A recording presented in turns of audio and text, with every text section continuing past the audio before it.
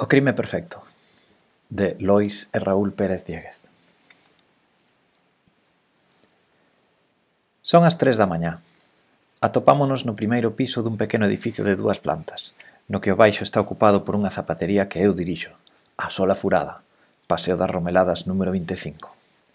Están comigo o Paco Bimbieiro e o Xanciño Patacas, un tipo grande e ancho como un armario pero que facilmente era vencido polo sono. Este feito obrigábame a min a estar ainda máis atento ao capítulo deste mes dos vaqueiros refucidos. Xa empezaban a ser as 4 cando os directores do Canal Nacional de Talamiras decidiron que xa tiñamos dabondo por esta noite. Despertamos a Xanciño e dispuxémonos a retirarnos ás nosas respectivas vivendas. Eu dormí aquí, na zapatería, pero o Paco e o Xanciño vivían no outro lado da cidade, no souto de riba. Despedímonos e quedamos en reunirnos cedo, a eso das 11. Mentre os vía afastarse cambaleándose no carro de afiador paragüeiro de Paco, eu quedaba pensando canto tempo máis duraría a anarquía dictatorial a que nos tiña sometidos o rei Manuel Frejonas, o líder do noso ben amado país, Talamiras, en cuxa capital, Serra Costeira, situada nunha depresión entre os ríos Ribeiriño e Rejeiro Fozado, se atopaba a nosa base de operacións.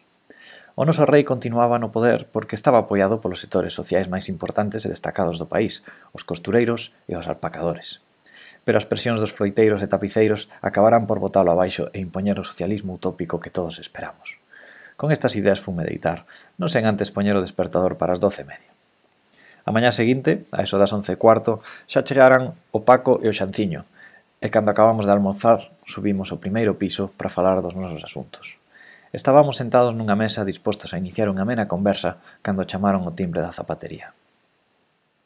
Hoxe é mércores. Estou sentado nunha boa Estou sentado nunha boa mesa de figueira. O Pepe foi atender a zapatería e eu quedei con Xanciño. Estaba pensando na morte da burra cando, sen previo aviso e a traición, Xanciño abriu a boca. A onde marchou Pepe? Pero Xanciño, ti non és consciente do que pasa ao teu redor. Bo, non me sermones e fala se lle tes aprecia a vida. Bueno, o Pepe foi atender o seu negocio, cousa que tamén tiña que facer eu porque os afiadores temos moito traballo. Dicía isto mentre observaba as paredes da nosa oficina, porque nós, no noso tempo libre, exercemos de detectives públicos. Daba gusto velas. Estaban cheas dos nosos maiores éxitos e títulos. O diploma de parvulario de Xanciño, a miña calegrafía completa de cando ían segundo e o primeiro exame que aprobou o Pepe Cancelas. De repente, veuseme a cabeza a última vez que fun ver un partido de fútbol.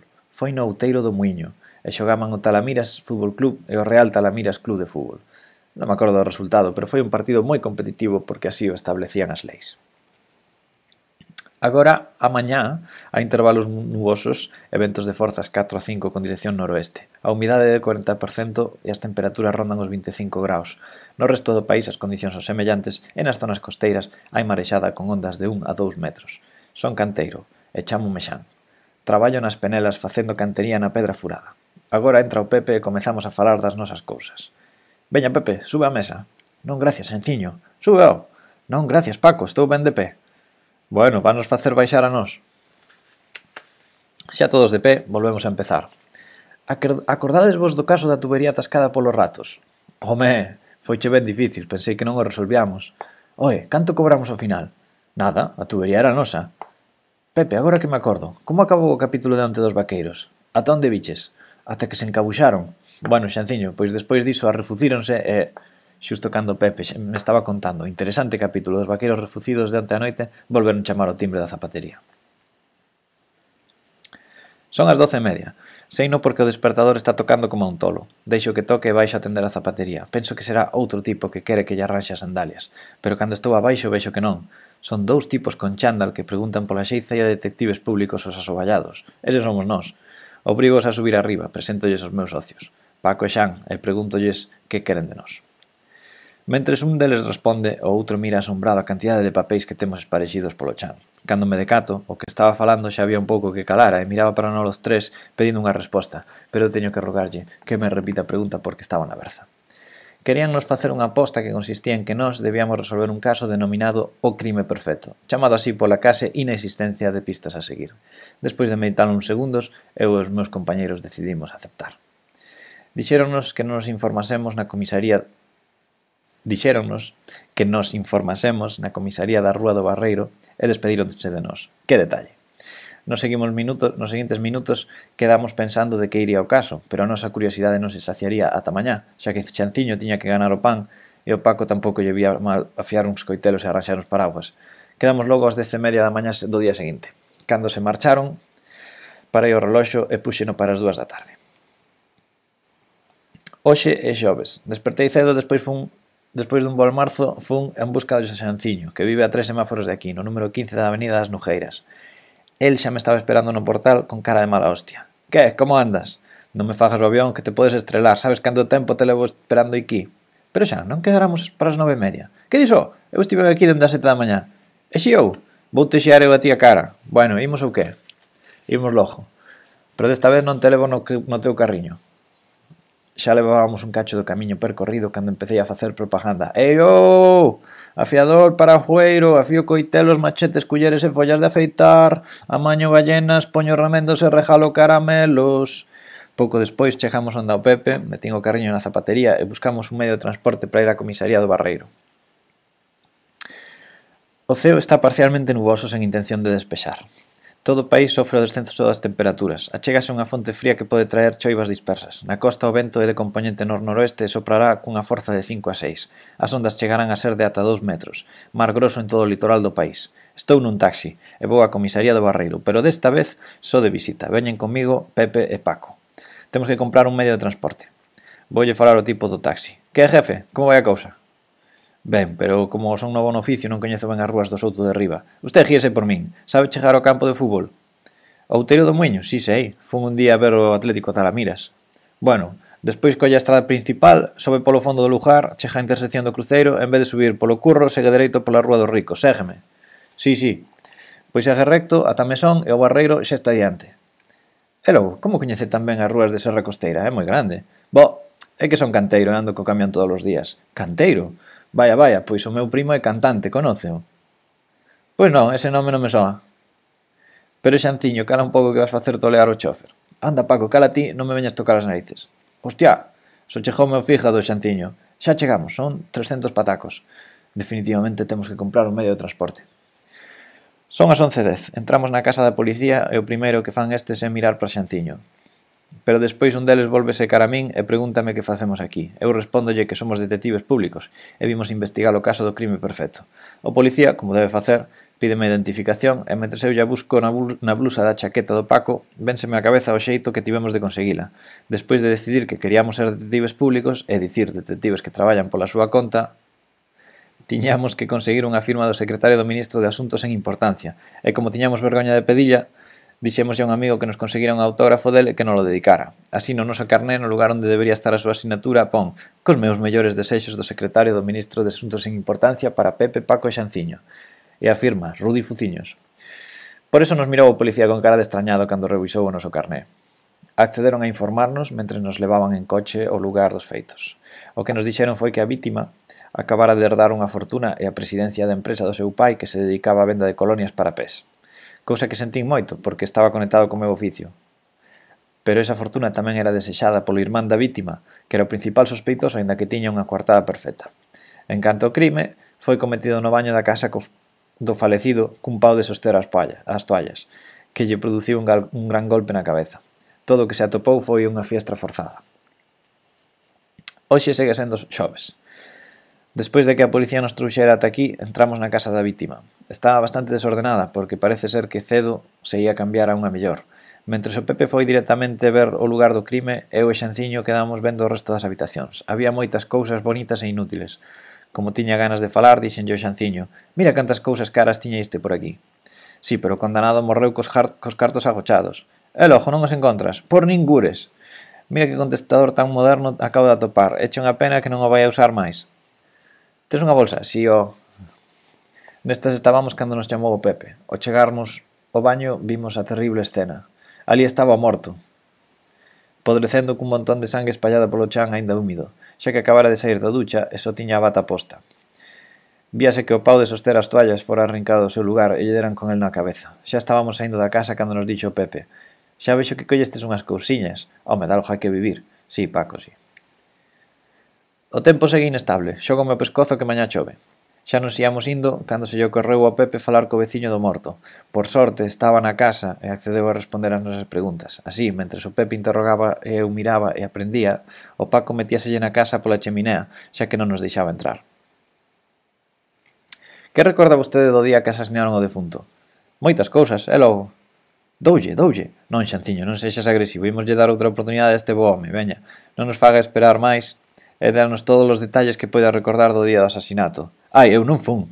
Iso xa o diciremos nós, vostede fale. Bueno, todo o que sei é que o morto, cando estaba vivo, estivo berrando co seu irmán pouco antes de enterarme eu de que morrera. E como soubo que era o seu irmán? Non, o meu non era, era do morto, en paz descanse. Os Pepe, isto está nos vacilando, vou explicar eu. Mire, queremos saber como soubo vostede que o irmán que estaba berrando co morto era dil e non o seu. Pois recoñecino pola voz. A cal dos dous? O irmán? Ah, siga, siga. Ben, eu xa tiña oído un anuncio de televisión que facía il. E que anunciaba? Unhas tesoiras ecolóxicas. Veña, e agora largar oso. Paco, ven, que xa nos imos. Enseguida o Paco saiu da casa do veciño, deixando este a papa hostiado. Decidimos entón marcharnos a todo correr, xa que o xentil veciño, despois de entrar na casa, volver a sair con unha de dous canos, Xa perderamos de vista e camiñábamos pola costa da Poza cando algo me chamou a atención. Era unha tenda de vehículos. E como íamos derreados e a zapatería estaba lonxe, dixenlle os outros. Imos comprar un coche. Pero xa, non traemos cartos. Pois pajamos de outro día. Unha vez dentro da tenda botamos unha ollada aos cacharros que por ali había. Coches, motos, triciclos, bicicletas, camións, cinco eixes, trailers, monopatíns. Eu botei un ollo un trator, o Paco un carro de vacas e Pepe unha bici estática. Eliximos unha liña. Xa estábamos montados cando chegou o encargado. Que desexan vostedes? Nos tres mirámolo con cara de aburridos dentro do asento do condutor da liña e dixémoslle, a ti que che parece? Daquela rinquei, pisei o embraje, metín terceira, abrín as portas, toquei a bucina, dei o volante e cando ia levantar o pé do freo, dixome o tipiño, oe, os cartos que? Levantei o pé, acelerei, saínlle polo escaparate e berreille, denúnciame! Son as dúas da tarde. O despertador estaba neando na estantería. O Paco e o Xan foron traballar. Despois de guardar a liña na zapatería, fun picar algo e agora estou ordenando as ideas do caso. Tiñamos un morto, a arma do crime, un irmán do morto, unha fiestra forzada e ningunha marca digital. Todo este cacao mental tiña na cabeza cando mirei para o recén adquirido contestador. Enchufeino para saber como funcionaba, deille unha tecla e despois de facer un ruido extraño empezou a falar cunha voz moi rara. Teño que ir ao médico psicólogo. As cinco e media teño que ir ao médico psicólogo. Non me custou moito chegar á conclusión de que era o morto que falaba. Tería que contarlle estos outros na próxima reunión. Antes de ir botar unha soneca, parei o despertador e puxeno para unha hora calquera. Este xoves é moi longo. Despois de que me chamara o Pepe, e eu a Xanciño, foi o Xanciño e volveu chamar o Pepe. Bueno, o asunto era que nos tiñamos que xuntar no bar da Diagonal para falar dun tema de grande importancia. Ali estábamos, sentados nunha mesa algo grande dentro do bar. Eu fun o primeiro en falar con permiso de todos. Que é iso tan importante que nos tes que dicir? Acordades vos do contestador que collestes na casa do defunto? Non me digas que estaba escarallado. Non, xanciño, non. Furlaba ben. E ademais tiña unha cinta dentro. E sabedes que mensaxe tiña gravada coa propia voz do falecido? Oes, por máis que o penso non o dou adivinado. Dicía, teño que ir ao médico psicólogo ás cinco e media. Vaya, Pepe, este caso estáse poñendo interesante. Uh, por certo, trauxen algo para beber. Pero Paco, non che máis dado pedirlle algo camareiro? Oh, claro, Pepe, ti és zapateiro e arranxando zapatos sin da gañas uns cartiños, pero eu son che pobre. Pois eu tamén che trouxen un bocadillo porque non puide xantar na casa. Bueno, Paco, ponme un agua. Toma, Pepe, sírvete. Eu vou abrir este cartón de leite. Graciñas, Paco. Queres algo xan? Vale, se tedes chocolate... Sabes, Pepe, eu e xan tamén descubrimos algo. O que? Que moi forte tiña que ser o asasino para arrancar o pau de soster as toallas. Eche certo. Algo máis? Pois pensamos que podíamos ir a unha tenda onde vendan eses chismes para probar a súa resistencia. Imos logo. E tamén lle facemos unha visita ao psicólogo. Unhas nubes negras taparon o sol, sinto a humidade no ambiente. Despois de que nos botaran do bar por non pedir nada, fomos á zapatería do Pepe e sacamos a liña. Nela estou agora, eu conducindo e os outros dous nos últimos asentos. Dirixímonos á Praza Maior de Val Valdo Jato, o recunche máis escondido de todo o souto de baixo, e de paso que tan longo paseo facemos, imos collendo a xente nas paradas, cousas do Paco para gañar uns patacos. Así de pouco en pouco para a xente. Boas tardes. Que carallo queres? Eu quería ir ata Cruz. Ata Cruz, pero infeliz, ata Cruz vas ir a pé. Pero bueno, este non é un autobús público. Non me toques a moral, a ver se me teño que levantar. Pois levántese usted se quere, que eu non me penso ir. Ai ah, non, pois baixo teu. Agarreino polo pescozo, botei unha man un brazo e chimpeino da niña en baixo. Pero ainda se me agarrou a porta o condenado. Entón pechei as portas e quedou ali berrando. Cando volví ao asento, fixeime en que todos os pasaxeiros que levaban na liña me estaban mirando con mala cara. Entón dixenlle, sinalando o letreiro que levaba detrás do asento, que poñía non maren o condutor. Iste se baixa na próxima. Cando aparcamos xa non quedaba xente na liña. Entramos na tenda de baños o cantazo, había baños por todos os lados. Nos o único que tiñamos que facer era arrincar uns cantos paus de soster as toallas para saber a forza do asasino. Ia arrincar o primeiro cando se nos achegou alguén por detrás. Que podo facer por vostedes? Pois mira, tiraste un pozo e dis que te perdiches. Deixamos o tipo con cara de pálido e puxémonos a arrincar paus mentre non nos vían. Era moi doado, o asesino podía ser calquera. Xa nos íamos cando a pedra dun baño me chamou a atención. Vinde aquí, mirai, eh, a pedra deste baño. Que pasa que ten? Recoñezoa, foi a que piquei outro día e bo traballiño me deu. Bo, anda, vámonos. Esperai que vou probar un baño destes. Vai con Deus, Paco, nos agardamoste aquí. Que, Pepe, que che parece isto? Non me gusta nada, xanciño. Os paus istes que caen iles. Se o psicólogo non nos dá ninguna pista, podemos nos dar por vencidos. Son as seis e cuarto. Despois da nosa higiénica visita aos baños o cantazo e da nosa rápida fuxida, Collemos a liña e fomos a parada, parada por parada ata onda psicólogo. O malo foi que o parapsicólogo este vivía na cima do picotiño dos corvos e a liña, que xa era bella, non deu subido tal costa, e tivemos que deixar no lameiro de Ramirás. Fómola subindo a pé como puidemos, ao chegar ando ao portal vimos que estaba pechado. Pero iso arranxou no xanciño. Xa dentro, Fomos subindo as escaleiras a modiños sen facer ruido. Cando chegamos ao seu piso, chamamos a porta e dali a un cacho veunos abrir o tal psicólogo. Polo seu aspecto deducimos rapidamente que era estranxeiro, pero xa o sabíamos, porque ningún talamiro se lle ocorrería facer carreira de psicólogo. Hola, que tal? Veñen coller vez para unha consulta? Non, vimos consultarlle algo. Sí, sí, sí, pasen, pasen. Levounos a unha habitación e recostounos a cada un nun sofá, estes estranxeiros. Contenme os seus problemas. Ia lle responder, pero quedei pensando en como sabería que tiñamos un problema. Eh, viñemos para falar un, dun dos seus clientes, dun que morreu hai pouco. Oh, do tipo das colonias para pés? Do mesmo. Paco e Xan observaban calados a nosa conversa. Ah, sinto moito, pero non podo falar dos meus pacientes. E logo, creo que lle vai tomar a mal. Ah, non, non é eso, é unha norma da miña profesión, cousas que vostedes non entenderían. E por qué? Xantiño, déxame falar co psicólogo. Sí, por qué? Ah, porque vostedes son talamiros, e Talamiras é un pequeno país sen a cultura suficiente e evolución adecuada para comprender ou incorporarse á civilización doutros países do mundo exterior. Pepe, déixame que lle aplauda na cara. Ve, señor Xosé. Ve, señor Xosé. Aguanteime todo o que puiden para non sacudilo como un alfombre, dixen. Demóstreme que a súa cultura é superior á nosa. Ah, podría demostrarlo dun millón de formas. Pois mireo, só que non lo demostre dunha e ímonos, e non pasou nada. Pero se ao contrario e a nosa é superior, tenanos que contar todo o que queiramos sobre o defunto. Ah, sinto darlle tans poucas opcións pero nun dos aspectos onde mellor se reflecten a tradición, cultura e historia dun pobo e nos ditos e refráns. Sí, sí, adivinanzas, adivinanzas. Non, Xantiño, non. As adivinanzas, os chistes e as panxoliñas son outra cousa. Veña, bote o primeiro. Ah, aí vai. Non deixes para mañá o que poidas facer hoxe. Ai, sí, eh? Lavarlle a cabeza a un burro e perder tempo e xabón. Voucho explicar, tanto da que fajas algunhas cousas porque son inútiles. Ah, impresionante, pero máis vale máis lo coñecido que vou por coñecer. Pepe, Pepe, déxame isto a min. Veña, Paco, asombro. Vale, mire vostede, nosos afiadores temos que andar con moito ollo porque máis vale coitelo romo que mal afiado. Moi ben, a palabras necias oídos chordos, non se debe facer caso dos insultos. Iste digo yo eu, vale xan. Se falas mal de min, parto xa boca. Eu non ando con díxome, díxome. Mm, está desaguantando ben, pero isto é o que vos vai pasar. Can ladrador, pouco mordedor. Ha! Pois isto que che vai pasar a ti. Estás sorteando unha hostia xa tes atas grapas. Bendito Xan, así se fala. Que nos bote outro. O barato é caro. Mmm, como dicimos os zapateiros, zapato barato, ganancia segura. Está ben, leva desvantaxe, pero acabouse vos a sorte. O fin xustifica os medios. Non sempre, só cando os medios non contradigan o fin. Ah, ainda non estou vencido. O falar non ten cancelas. Ia responder, pero... Ia responder Xan, pero deime por aludido. Pero de balados está cheo. Vale, está ben. A fin e ao cabo, o que conta é participar. Se vostede cree, nos polo ben da ciencia tiñamos que gañar. Xa sabe que gañar é cuestión de sorte, pero perder non perde calquera. O psicólogo cumpriu coa súa parte do trato e estivo media hora contándonos cousas sobre a vítima. O máis importante que nos dixo foi que estaba medio coxo dunha perna e que tiña tan pouca memoria que lle aconsellou gravar no contestador os seus planos para o día seguinte. Tamén nos dixo que non tiña nin idea de como levar a empresa do seu pai. Por último, mencionounos que o mandara ir con regularidade a unha piscina. Teríamos que investigar se foi o día do asasinato.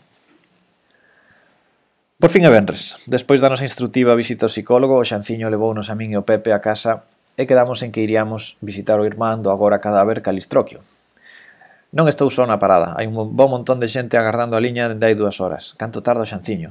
A fin ao cabo acaba chegando, cando abre as portas digolle «Uxe madrujaches, eh?» Tanto como a ti outro día, acordaste de todas.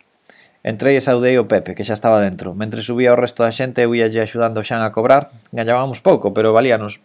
Antes de chegar, o Xan preguntoulle a Pepe «Imos a tarde de algún sitio? E logo, traballas?» «Ata sete». Pois íamos visitar as piscinas, pero danos tempo de ir agora mañá. E se é todo a sete, se ves a zapatería, repasamos os feitos. A xente comeza a coller os paraugas, hai ameaza de chuvia en todo o país, pero o vento non é forte. Na costa o mar está bravo, achégase unha treboada. Estamos en fronte da mansión do irmán da vítima, o cal é o noso principal sospeitoso porque ten un móvil, apoderarse da empresa que herdara do seu irmán e ademais un veciño oír ao falar co falecido horas antes do asasinato. Tivemos sorte de que estaba na casa cando chegamos. Se non os gardarreses non nos deixarían entrar. Ao reunirnos con el entramos os catro á mansión, era grande, moi grande, a miña comparada con esta parecería un armario, cando estivemos os, díxonos. Quen sodes vos e que queredes de min? Pepe, déxame responder a min. Pero Xan, estás seguro? Sí, sí, sí, xa aprendí moito de ti. Bueno, mire, somos a Axencia de Detectives Públicos Os Asoballados e queríamos facerlle algunhas preguntas. Que preguntas? Non teño tempo para tonterías. Non son tonterías, sabe vostede que o seu irmán morreu? Outra vez? Bueno, sábeo, todo teu Pepe. Uh, como íamos dicindo, señor Edelio, sabemos que vostede estivo na casa do seu irmán o día do asasinato e ademais berrou con el por algún motivo que nos vai explicar agora, verdade? Pois miren, voullo dicir só para que se marchen. Efectivamente, fun a casa do meu irmán para dicirlle que deixara a empresa, que era un inútil e que nos ia levar á ruína. El dixo que non e eu berrelle. Pero por suposto non o matei eu. E agora teñen, tense que ir. Os meus guardarres están granos ata saída. Son as once e media pasadas. Acábanos de botar da mansión do Delio da Poza, o maior empresario de colonias para pés e principal sospeitoso do asasinato do seu irmán. A visita non nos despexou moitas dúbidas. Deus queira que nas piscinas teñamos máis sorte. Volvemos coller a liña, pero desta vez non levamos a ninguén porque tiñamos presa. A estas horas as piscinas estarán baleiras, cousa que facilitará o noso labor. Cando chegamos vimos que estaban abarrotadas, pero despois de facer preguntas, dar uns chapuzóns e volver preguntar, demos co asistente persoal do agora morto, antes vivo, Calistroquio, e conseguimos que nos fixese caso. Comenzamos o interrogatorio. Descubrimos varias cousas interesantes, que o defunto levaba cinco anos vindo ás piscinas, que aínda non aprendera a nadar, e o máis importante, que estivo aquí o día do asasinato. Profundizamos máis nesa cuestión e o asistente díxonos que mentres practicaba na piscina alguén forzara o seu armario, levando varios obxetos de valor, cartos, DNI, as tarxetas e as chaves da casa. Con estes novos datos largámonos para casa porque era tarde. Seguimos en Benres. Estou na zapatería co Pepe e esperamos que chegue Xanciño. Mentres, analizamos toda a información que temos sobre o caso. A ver, Pepe, non vas a pagar o despertador que xa hai un poquinho que está tocando? Ah, non, pero se te molesta pago. Non, non, é por se che estorba a ti. Eu xa che estou acostumado. Cando tivemos todo ordenado, intentamos encaixalo. Bueno, Paco, temos un morto cun golpe na cabeza producido por un pau de soster as toallas que puido ser arrincado por calquera persoa. E tamén temos unha fiestra forzada, exactamente, Paco. Que a poido forzar? O asasino, mellor. Sí, pero recorda que o noso principal sospeitoso, que é o propio irmán da vítima, foi ido por un veciño do asasinado dentro da casa e non necesitaría forzar unha ventá para entrar. Sí, Pepe, pero ese o fixo para despistar e que parecera un roubo. Un roubo? Hmm, é posible. Ha. Huh. Tamén temos que ter en conta o tipo que lle manjou as chaves na piscina horas antes do crime. É verdade, Pepe, sen embargo este mangante sí que non necesitaría forzar a fiestra porque tiña as chaves da casa. Para o carro, Paco, entón, quen era o que non tiña as chaves? O morto? O morto foi el o que tivo que forzar a ventá para entrar na súa propia casa antes de que seu irmán fora a falar con el. Como xa predixera antes, chove, chove como fora, Menos mal que me arranxou o paraguas o Paco outro día, senón puñame perdido. De todos os xeitos a chuva a choiva veume ben porque suspenderon as obras da canteira ata mañá. Entro na zapatería e subo o primeiro piso. Este Pepe moi confiado e deixa todas as portas abertas. Cando entro á oficina vexos a eles dous falando e despois de apagar un despertador pregunto Que estades facendo? Rápido, Xan! Temos que ir casa do morto para comprobar unha cousa. O que? Que pasa? Nada, o que xa sabemos quen forzou a fiestra. Onde tes a liña? Está aí en fronte. Pois veña, que xa cho aclaramos polo camiño. Eh, cando estivemos os tres na liña, o Pepe foi me aclarando todo entre parada e parada. Mira, Xan, o morto foi ás piscinas o día do asasinato e sabemos que allí li, lle roubaron as chaves, por iso tivo que forzar a fiestra para entrar na súa casa. Cando xa estaba dentro, chegou o seu irmán e berrou con el. Ah, e mentres berraban colleu o pau e matouno. Efectivamente, Xanciño, puido ser o seu irmán, pero recorda que o mataron ao sair da ducha. Iso quere dicir que o sorprenderon. Aí entra o ladrón das chaves, que puido entrar na casa e roubar e matalo. Cando chegamos seguía chovendo. En canto estivemos a colleito, xa dentro da casa do morto, volvín preguntar que queríades comprobar? A fiestra. A fiestra? Sí, xanciño, a fiestra. Ainda que o morto era coxo, agora sabemos que ata el puido forzar a ventá, xa que está bastante baixa. Vai, oh, Pepe, así que non temos ningunha proba en contra o irmán. Sí, e aínda que colleramos o ladrón tampouco teríamos probas de que fose asesino. Estábamos eu e o Pepe con estas cavilacións cando vimos un golpe e un berro. Era o Paco, Fomos ao lugar de onde proviña o berro, que era o baño, e preguntámoslle que pasara. Ele estaba ainda no chan cando nos respondeu. Non pasa nada, ó. Estaba mirando para o morto e con toda a auga que hai aquí no baño estas baldosas esbarei e case rompo un oso. Vaya, ó. Coas presas deixei o reloxo na casa. Son os nervios de sair Vaya, oh, coas presas deixei o reloxo na casa. Son os nervios de antes de sair na tele. Cedo seremos famosos. Despois de visitar a casa do morto, volvemos na liña a zapatería e ali dixenlle o Paco e o Xantiño que xa resolvera o caso. Expliqueillo todo e reveleilles o feito que me deu a clave do descubrimento. Decidimos chamar a televisión e invitáronnos a aparecer no telexornal das tres. Caraí imos agora, coa liña todo gas para chegar a tempo. Tamén nos puxemos en contacto cos tipos que nos fixeran a posta, os cales estarán ali para felicitarnos.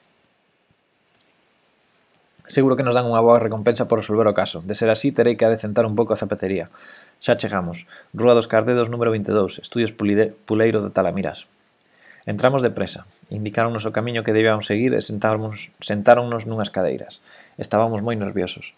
Empezaron a dar as noticias e cando acabaron os deportes chegou a nosa vez. A presentadora virouse cara a nós e dixo os nosos nomes en alto. Enfocáronos e despois dunha breve introdución a pregunta non se fixo esperar. Como resolveron o caso? Collín aire e respondín. Non foi sinxelo. Contenos, don Xosé. Ah, Pepe, por favor. Ben, ao principio só tiñamos un morto en unha fiestra forzada, pero por casualidade descubrimos que o falecido ia ao psicólogo regularmente. Fomos onde ese psicólogo enterámonos de que a miúdo ia ás piscinas. Tamén fomos alí, onde nos dixeron que fora o día da súa morte e que lle roubaran as chaves. Deste xeito soubemos que tivo que ser el mesmo o que forzou a ventá que apenas estaba a un metro do chan. Unha vez dentro da casa, chegou o seu irmán e despois de berrar con el pola dirección da empresa que herdara do seu pai, foi a ducha e cando saiu, estando xa só na casa, tivo a mala sorte de esbarar e dar coa cabeza no pau de soster as toallas, tirando o chan, dando así a impresión de que foi utilizado como arma dun crime. Así que o crime do século foi en realidade un accidente? Efectivamente. Todos no estudio estaban perplexos pero parecían aceptar esta como a verdadeira versión do ocorrido e unhas cantas preguntas despois despedíronnos dicindo que había unha recompensa material. Cando acabou de dicir isto, o Paco enseguida preguntou a canto ascendía. Son 100.000 patacos, señor Francisco, que ben os merecen. E agora nesta cadea un interesante documental que responde á pregunta que reflecten os espellos cando ninguén os mira. Estou tan fora de min que non sei que día é hoxe. Coa parte da recompensa que me toca vou motorizar o carriño e vivir unha boa vida. Debe de facer bo tempo, polo menos non oi a chover. Agora que son famoso xa nunca máis picarei piedra. Teño un amigo que di que me pode colocar de home do tempo no telexornal das nove. Ese sí que é bo traballo. Epílogo. Xa pasaron dous anos dende que resolvemos aquel caso. Agora ampliei a zapatería e arranxo tenis deses con cámara de aire. O xanciño reformouse algo e pagou as súas débedas. Agora vexo todas as noites no telexornal. Que ben o fai, nunca falla. O Paco tamén vive ben, xa non é pobre. En canto ao asunto dos detectives, bueno, hai veces nas que o show non debe continuar. Ao fin e a cabo, segundas partes non soen ser boas.